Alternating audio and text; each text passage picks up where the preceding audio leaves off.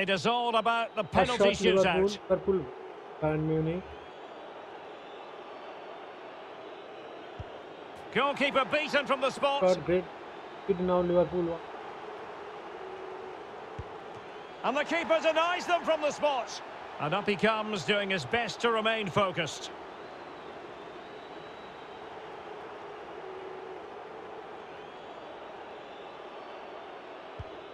Well, the keeper reacted magnificently.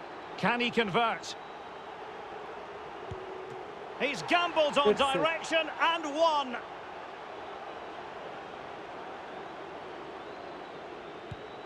And just like that, he's come up with the save. And that is when you need your goalkeeper. And he steps up to take his penalty.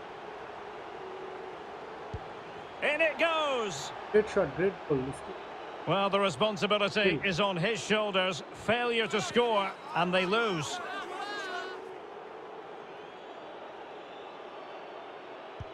And there it is, perfectly executed. And now a heaven-sent opportunity to win the match. 4-2-1.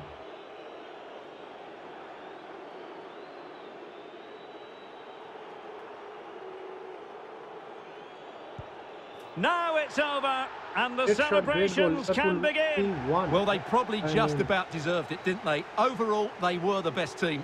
Scenes of jubilation here. They'll be hoping for bigger and better in the near future, but they're certainly going to enjoy this moment for now. Well, winning becomes a habit, and I think they showed a lot of character here today. They're a tough team to beat, that's for sure.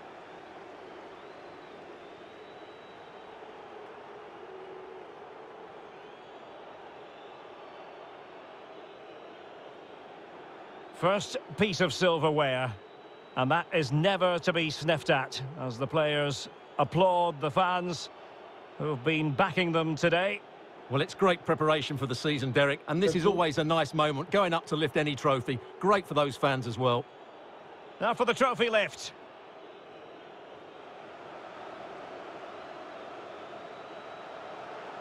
And with friends and family in attendance, you've always got to really savour these moments when they come around, Stewart. Well, they've got to enjoy this, Derek, and then get ready for a tough season ahead. They won't be celebrating too much tonight. Absolutely.